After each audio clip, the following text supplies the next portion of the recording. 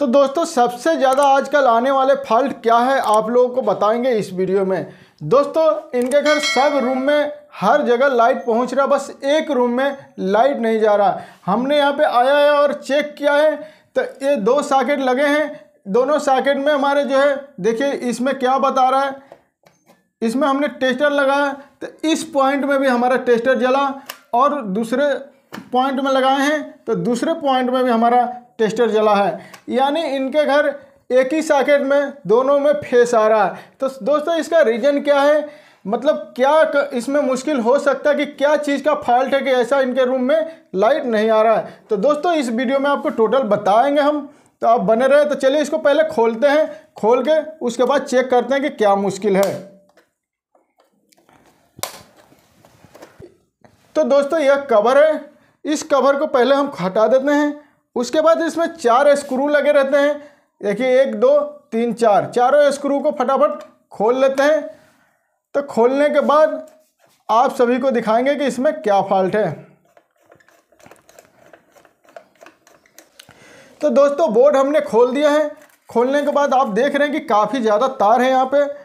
तो तार कोई मुश्किल नहीं है। जो अगर इलेक्ट्रीशियन है तो समझ जाएँगे। अगर नए आदमी हैं तो थोड़ा समझने में मुश्किल होगा। तो इसमें क्या करेंगे? सबसे पहले हमें क्या करना है? अगर देखिए, अगर आपके कहीं भी रूम हो, चाहे घर हो, अगर आपके ऐसा मतलब दिखने को आए कि दोनों तरफ़, एक साकेट में दोनों तरफ़ आपका टेस्टर जल रहा है तो सबसे पहले क्या करना चाहिए? न्यूट्रल चेक करना चाहिए। क्योंकि ये न्यूट्रल जब फॉल्ट होता है, तभी दोनों तरफ़ लाइट आता है। तो चलिए दोस्तों, इसको पहले न्यूट्रल को ढूंढते हैं कि न्यूट्रल कौन सा है। तो देखिए, आप सबसे ज़्यादा तार जुड़ा है, न्यूट्रल है। और इसी में एक मोटा तार थोड़ा आया होगा, ये देखिए। ये जो तार जो आया ढाई एम का, यही हमारा मेन न्यूट्रल है और दूसरा ढाई एम का हमारा फेस है। तो हम सबसे पहले क्या करेंगे? फेस को चेक करेंगे। तो दोस्तों, सबसे पहले हमारा फेस जो है, यहाँ पे आ रहा है और न्यूट्रल को चेक करेंगे। तो न्यूट्रल अभी, देखिए न्यूट्रल में भी फेस बता रहा है। यानी फेस में तो फेस बता ही रहा है न्यूट्रल में भी फेस बता रहा है। तो इसका रीज़न क्या है? इसको देखेंगे तो देखेंगे सबसे पहले एक तार जो है किसी चीज़ का छूटा हुआ है, ये क्या चीज़ का हो सकता है? दोस्तों, यही लग रहा है कि न्यूट्रल जो है, न्यूट्रल का तार जो है, यही छूटा हुआ है, जिससे लाइट नहीं जल रहा। तो काम करेंगे, हम थोड़ा थोड़ा इसको चेक करेंगे कि यही है कि दूसरा है। तो दोस्तों, अगर नए हैं आप तो थोड़ा सावधानियाँ ज़रूर रखिए। अगर इलेक्ट्रीशियन है तो इस मुश्किल नहीं है। आप जैसे कर, काम करिए। आपको मालूम है कि क्या चीज़ से हमें बचना है, क्या चीज़ से नहीं बचना है। तो दोस्तों, इन मेन न्यूट्रल को हम खोलते हैं और देखते हैं कि क्या चीज़ इसमें, क्या प्रॉब्लम है जो ऐसा हो रहा है।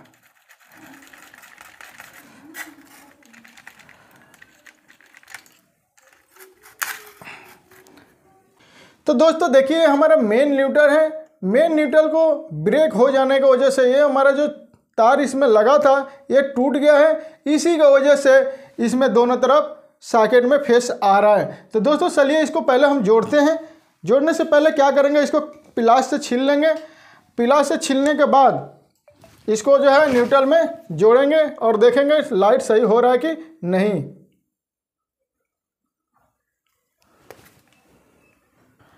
थोड़ा रूम में अंधेरा है, इसके वजह से जो है वीडियो साफ़ नहीं आ पा रहा है। तो दोस्तों, इसको छील लिए हैं। छीलने के बाद ये जो तार जो छूटा हुआ है एक तार ये है और दूसरा फ़ैन का।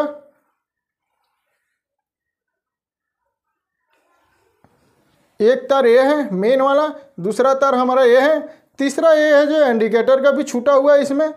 यानी तो दोस्तों ये हमारा मेन जो है न्यूट्रल है और ये तार जो है पहले से छूटा हुआ है और एक तार इंडिकेटर का भी यहाँ पे टूटा हुआ है। तो हम क्या करेंगे? बारी बारी से थोड़ा थोड़ा चेक करेंगे। पहले क्या करेंगे? इंडिकेटर पर चेक करेंगे ताकि हमें पता चल जाए कि ये न्यूट्रल का तार है कि दूसरा तार है। देखिए, अभी इस तार पर रखने से क्या होता है? इंडिकेटर जलता है। देखिए, दिख रहा होगा आपको। इस तार पे रखते हैं तो इंडिकेटर चलता है। अब हमें कंफर्म मालूम हो गया कि न्यूट्रल यही है तो क्या करेंगे? ये जो हमारा मेन जो एक और टूटा हुआ है जिससे सबका सप्लाई गया है ये घर पूरे रू, रूम का इस पर न्यूट्रल पे सप्लाई गया इसको टच करेंगे और देखेंगे। देखिए यही है हमारा न्यूट्रल जो टूटा पड़ा था। तो इसको क्या करेंगे? जोड़ लेंगे। जोड़ने के बाद आपको दिखाते हैं देखिए फ़ैन भी चल रहा है सब कुछ इसी से चालू हो गया है। तो क्या करेंगे दोस्तों? इसमें न्यूट्रल टूटा हुआ था। तो सारे बटन बंद कर लेंगे। बटन बंद करने के बाद इस न्यूट्रल को जोड़ेंगे और जोड़कर साकेट में लगाएँगे, फिर आपको चेक कराने, चेक कराएँगे।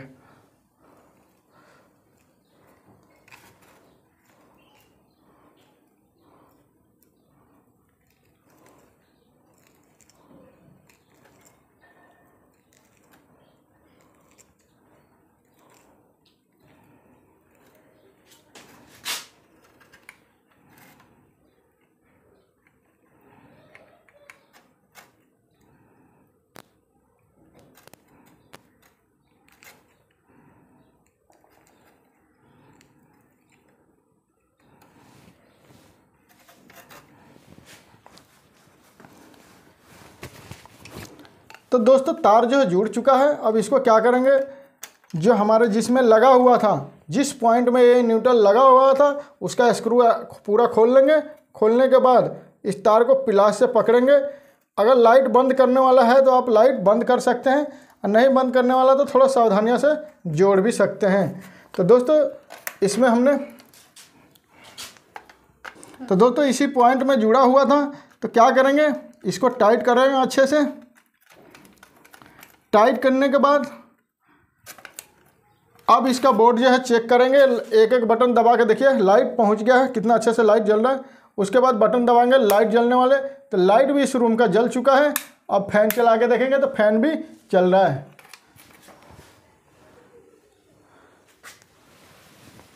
देखिए दोस्तों, फ़ैन भी चल रहा है और लाइट भी जल रहा है। तो दोस्तों, इस तरीके से हमारा फॉल्ट जो है मिल चुका है। अब इसको क्या करेंगे? टाइट कर देंगे। आपको इस बोर्ड में भी कुछ आपको जानकारी दे सकते हैं। तो देखिए, सबसे पहले हम क्या करेंगे, आपको बताएँगे।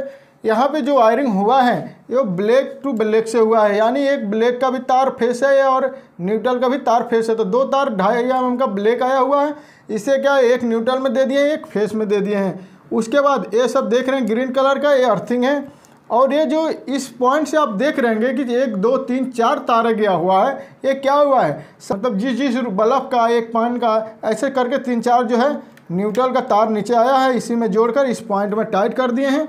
और फेस का तार देखिए, आप ब्लैक कलर का आया है, इसमें क्या है कि स्विच के नीचे वाले पॉइंट में हमने जोड़ दिए हैं, वहाँ से एक तार कनेक्ट किए हैं, दूसरे वाले लाइन में इस स्विच के नीचे वाले पॉइंट में जोड़ दिए ये पीला कलर का तार देख रहे हैं, किसी रूम में गया हुआ है यहाँ से, और जो है ये जो आप ऊपर के साइड में देख रहे हैं, ये सब क्या है? हाफ़ है। मतलब एक एक स्विच का, एक बल्ब का, एक फ़ैन का, एक ऐसे सबका एक एक आया हुआ है। तो चलिए दोस्तों, इसको बोर्ड को टाइट करते हैं। टाइट करके आपको दिखाते हैं।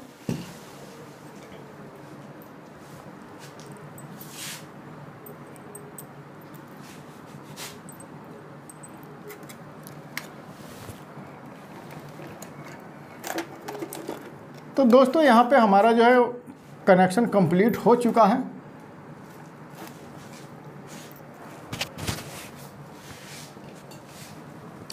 यहाँ पे देखिए नट लगाने के लिए ऐसे पॉइंट दिए हैं, मगर थोड़ा स्क्रू गड़बड़ है तो इसकी वजह से थोड़ा परेशानी झेलना पड़ सकता है। दोस्तों, इस तरीके से हमने चारों नट को फंसा लिए हैं। फंसाने के बाद इसको टाइट करेंगे, अच्छे से टाइट कर देंगे, ताकि बोर्ड इधर उधर ना घूमे। स्क्रू टाइट करने के समय टेस्टर का इस्तेमाल ना करें। अगर हो रहा है थोड़ा बहुत काम चलने वाला है तो कर दीजिए। नहीं तो ज़्यादा उम्मीद करिए कि हम स्क्रू ड्राइवर से ही काम करें। दोस्तों, इसको बारी बारी से सब कुछ टाइट कर लेना है। टाइट करते समय इस चीज़ का ध्यान देखिए, यहाँ पे तार निकल चुका है। तो इसको दबा देंगे अंदर के साइड और इसको सीधा देखना है।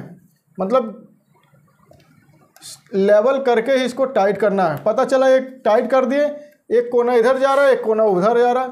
तो आपको इस इस इस चीज़ का ध्यान ज़रूर देना है कि बोर्ड सीधा लगेगा तभी अच्छा लगेगा।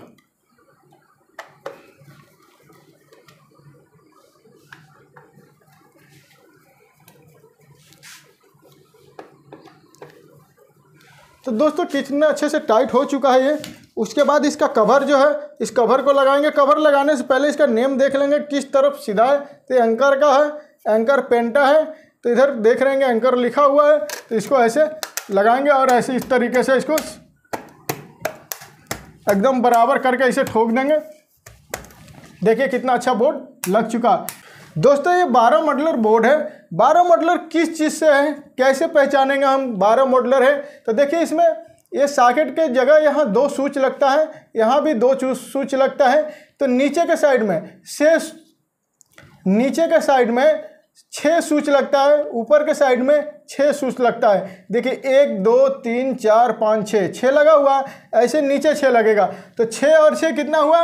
बारह। तो बारह मॉडलर का स्विच हो गया। ए सॉकेट नहीं जोड़ा जाता है, ना इंडिकेटर जोड़ा जाता है। बस हमें ये देखना कि इंडिकेटर तो सेम सेम है जितना जगह सूच लेगा, उतना इंडिकेटर भी लेगा। तो इस तरीके से आपको देखना कि कितने सूच इसमें आ रहे हैं। जितना सूच आ रहे हैं, उतने सूच का यह मॉडलर बोर्ड है। तो चलिए दोस्तों वीडियो देखने के लिए धन्यवाद। हमारे चैनल सब्सक्राइब नहीं किया तो चैनल को सब्सक्राइब कर लें। वीडियो कैसा लगा लाइक और कमेंट ज़रूर करें। अगर हमें कुछ कुछ पूछना है तो हमारे इंस्टाग्राम को फॉलो करके इंस्टाग्राम पर डायरेक्ट मैसेज करें। चलो दोस्तों वीडियो देखने के लिए धन्यवाद।